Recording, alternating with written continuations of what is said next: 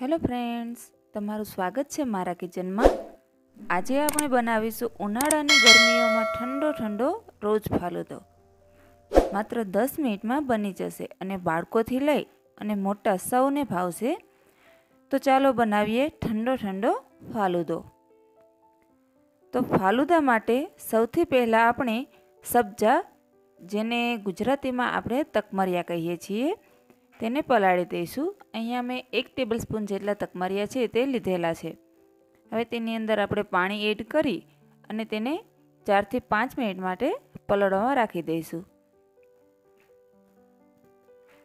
હવે આપણે સેવૈયા બનાવવા માટે એક તપેલીની અંદર એક ગ્લાસ જેટલું પાણી છે તે લેવાનું છે.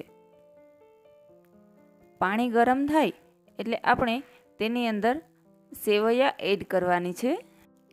અહીંયા અમે ગ્રોસરીસની દુકાને ઇઝીલી મળી જાય એવી ચોખ્ખાની સેવૈયા છે તે લીધેલી છે.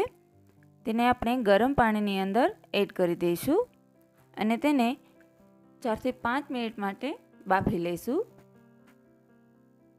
અહીંયા સેવૈયા છે તેને માત્ર ચારથી પાંચ મિનિટ માટે જ બાફવાની છે, નહીતર તે એકદમ ચીકણી અને જાડી બની જશે. આવી રીતે એકદમ કોરી કોરી સેવૈયા છે તે થાય એટલે આપણે ગેસ છે તેને બંધ કરી દેવાનો છે. અને સેવૈયાને એક ઝાડની અંદર કાઢી લેવાની છે, જેથી કરી અને તેની અંદરનું પાણી પણ નીકળી જાય અને એકદમ છૂટી છે તે થઈ જાય. હવે અહીંયા મેં બે સર્વિંગ ગ્લાસ છે તે લઈ લીધા છે.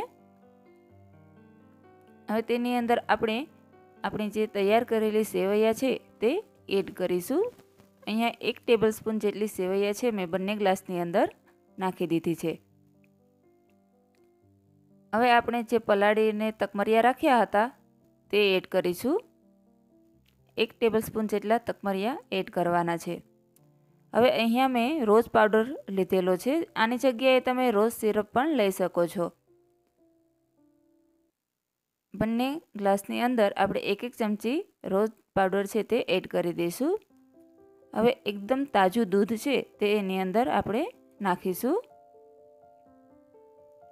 અહીંયા તમારે સુગર લેવાની જરૂર નથી કારણ કે રોઝ સિરપની અંદર પણ સુગરનું પ્રમાણ હોય છે અને રોઝ પાવડરમાં પણ સુગર એકદમ સારી રીતે હોય છે તો આપણે સુગર નાખવાની નથી. બધું બરાબર રીતે આપણે મિક્સ કરી લઈશું. આપણા તકમરિયા અને સેવૈયા બધું છે એકદમ સારી રીતે મિક્સ થઈ જાય. પછી આપણે તેની અંદર ડ્રાયફ્રૂટ છે તે એડ કરીશું. અહીંયા તમે વેનીલા આઈસ્ક્રીમ અથવા તો કોઈ બીજા આઈસ્ક્રીમનો ફ્લેવર જો તમને પસંદ હોય તો તે તમે એડ કરી શકો છો. તો તૈયાર છે આપણો ઠંડો ઠંડો ફાલુદા, જે ગરમીઓમાં ખૂબ જ ઠંડક છે તે આપે છે.